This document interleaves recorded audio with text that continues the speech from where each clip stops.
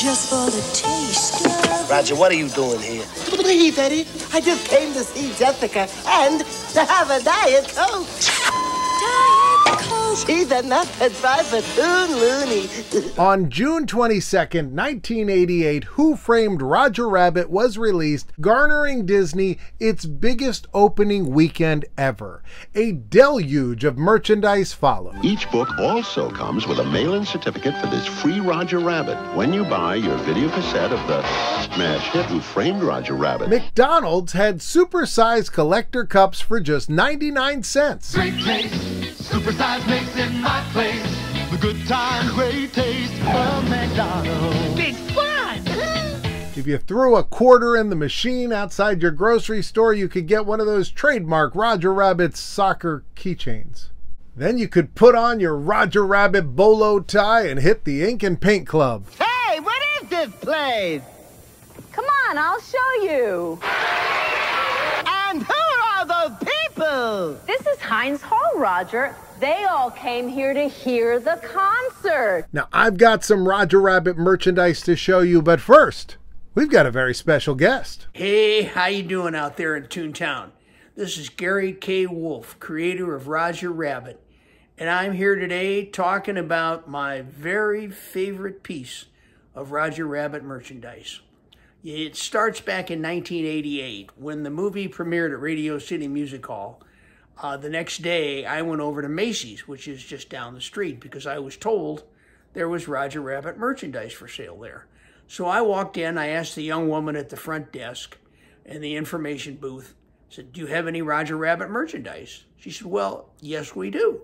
I said, Where is it? She said, Second floor. I said, Where on the second floor? She said, Second floor.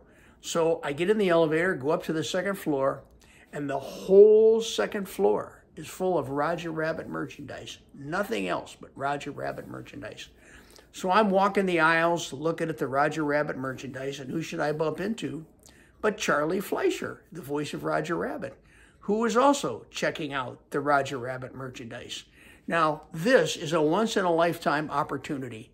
So I picked up this a Roger Rabbit doll that talks. And this is actually Charlie Fleischer's voice on this doll. Let's see if we can get him to say something. My name's Roger, but you can call me Roger. That's actually Charlie Fleischer. And I bought the doll in Macy's the day after the movie opened, and Charlie was standing there right with me. Charlie autographed the doll, drew a picture of Roger on the foot, autographed the doll, and this is the first piece of Roger Rabbit merchandise that Charlie Fleischer autographed after he became officially Roger Rabbit. So this is my very, very favorite piece of Roger Rabbit merchandise, and I just love it to death. Thanks a lot for listening. What a treat it is to hear that story. Fantastic. Huge thanks to Gary K. Wolf for that. Hello? Where is everybody? Please, everybody, where are you? It's Roger Rabbit's first Christmas at Disneyland, and he can't wait to get into everything. That's me! Wow! He's the star of our perennial craziest Christmas show ever. my name in lights. I'm the star of my own show. Makeup. People were asking the question who framed Roger Rabbit? Was it his wife Jessica? I like this. Roger Rabbit is guilty. This hat, I framed Roger Rabbit. This appears to be like a bootleg hat. It was Judge Doom. Didn't you guys see the movie?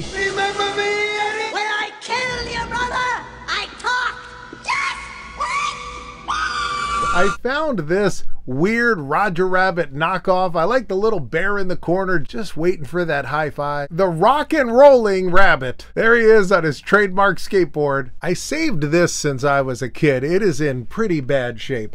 This is the Roger Rabbit movie storybook, and these were such a big deal because back then we didn't have the internet, so you couldn't just look up pictures of your favorite movie. Unbeknownst to Eddie, Roger followed the detective to Maroon Cartoon Studio. He saw Eddie walk towards RK Maroon's office. Now, the big omission from this is the only cartoons in this are Roger, Benny the Cab, and then the three weasels.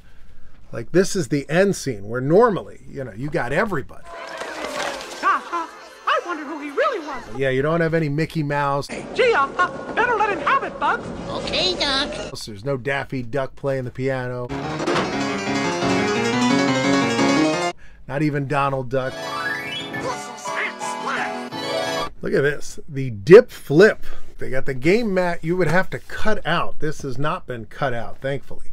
The dreaded dip means danger for all toons. Just by touching it, they begin to vanish. Challenge your skill in different ways. You can help Eddie Valiant block the toons before they disappear into the dip, or be the sinister Judge Doom. Ooh, a game that lets you play as Judge Doom. There he is, flipping into the dip. Look at this. This has never ever been used. So here's like all of the all of the stickers there still on the original sheet. Instructions right back there. And then you can see all the parts still tied up, still all uh, in the package. You would put those stickers on here. And then there's your dip. And I guess you'd, you'd flip them into the bucket. This would be where the Who Framed Roger Rabbit logo would be. Hopefully one day I get another one because I don't want to, I feel like at this point, this thing has stayed intact for so many years. I would feel like a heel if I opened it. I'd feel like Judge Doom putting that shoe into that, to the dip. Yeesh. I've got two video games. I've got the Who Framed Roger Rabbit for the NES. I don't know if you guys have ever played this one. Well, I got a Nintendo out there, so let's go play this. All right, I'm a bit conflicted about this game. It's a detective game. You play as Eddie Valiant. Roger Rabbit follows you around everywhere. Uh, it is interesting, but it takes so long to search for everything. It can be really, really tedious at points. You walk around the town, you go to buildings, so many of these buildings, they're just empty.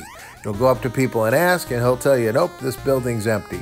And then you get to ride around in Benny the Cab, so that's a lot of fun. And you also get to go to all the different scenes from the movie. The end of the game is you beating up Judge Doom, which is awesome. Hi, you're new here. I'm Zach Morris.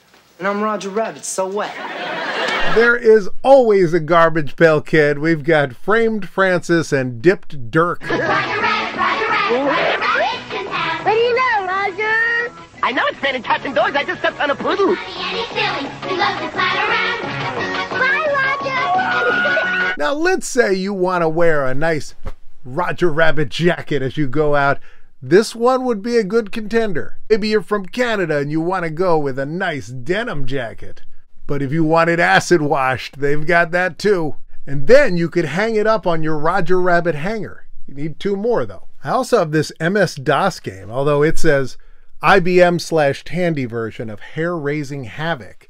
And look at this. This is how many discs you needed to play this game back in the day. And this is very important. I'm going to show you how this worked. This wheel you only used once when you played this game. So first we have to go through the process of loading in each of the five diskettes. So now it asks me how many bananas does Roger have in his right pocket? All right, so we've got the right pocket here. Let's slide this over to a banana. All right, right pocket has 23 bananas. All right. So the wheel was just a way to make sure that you wouldn't make a copy of this and give it to your friends. Mommy is going out for an hour, darling, but I'm leaving you with your favorite friend, Roger. The audio clips are interesting. The game is a fun side scrolling platformer. There's a lot of things to interact with.